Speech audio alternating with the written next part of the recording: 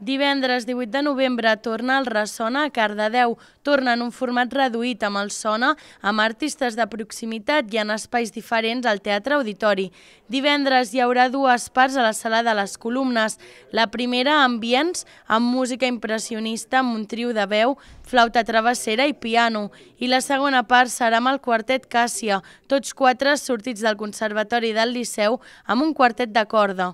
Dissabte al matí al taller L'Estació és allà es farà el concert a Maluca, un trio vocal amb la cardedeuenca Magalí Sala i la Gina Quatre Cases i en Miguel Gómez. Aquest 18 i 19 de novembre fem el primer Ressona, que és el Ressona de tardor, i llavors al març farem les tres actuacions que es fan al teatre, dintre de la programació del teatre, i, i per tant i són de format més gran i, per, i hi haurà més públic i, diguem, i, i els catxers també són més importants. El festival tornarà el 2023 al Teatre Auditori de Cardedeu, el 24, 25 i 26 de març.